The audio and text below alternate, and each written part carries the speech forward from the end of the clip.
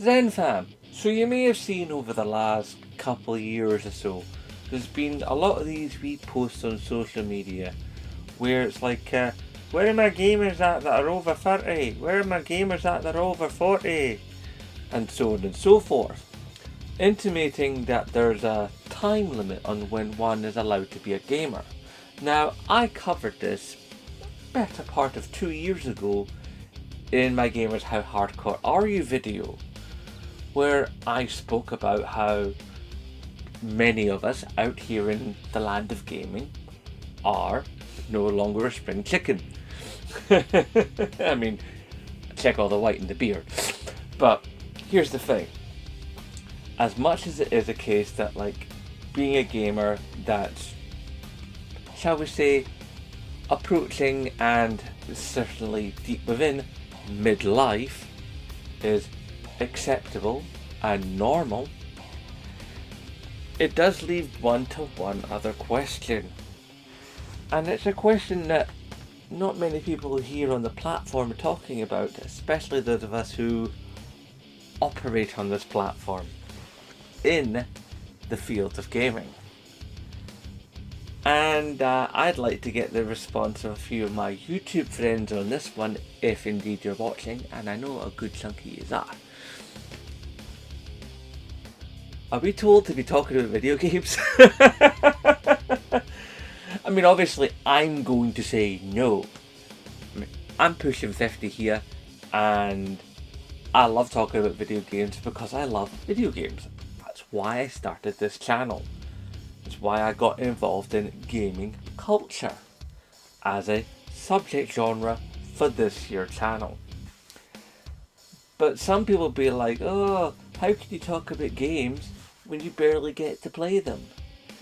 How can you talk about games when you have to spend your money on rent and food and council tax and electricity and household gas and you have to you know spend your money on traveling to and from work and buying food and look, just because I'm a quote unquote adult doesn't mean I don't enjoy video games. Equally, it means I that doesn't disbar me from talking about video games and to a point where I still love them enough to want to step in front of a camera and talk to you lovely people. If that was the case, what's the age limit on anything? Is there an age limit on crafting? Is there an age limit on football? If you can no longer really technically play football because your age would disbar you from running around a field for 90 minutes kicking a ball, can you really still love football? Can you really still talk about football? Could you really still have a gaming, a, a, a YouTube channel based in football? And you can say that for so many other things. Just because I don't get to game as much as I did when I was in my 20s, when I was single, doesn't mean I don't love gaming as much as I did then. In fact, it's probably fair to say that I love gaming more now because now it's um a rarer thing for me to get to enjoy. I savor gaming more because when you're a married man with a family and a full-time job, the, the job itself eats 8 hours of your day and you travel an hour 40 to your job and an hour 40 back from your job, then when you get back you've got responsibilities to fulfill once you've got home. And in the mornings when I get up, I have to get my son off to school. Yeah. The gaming time I do get is all the sweeter. But because it's all the shorter, I have to prioritize certain things. I can't play the up to the minute games right when they come out because one, I don't have the money and two, I don't have the time to be ever present in the most up to the minute game as they come out. I'm still, I mean, you see here behind me here, Days Gone. I only got done playing this a couple of months ago. It had been sitting in my backlog for I don't care to tell you how long. And my backlog is crazy.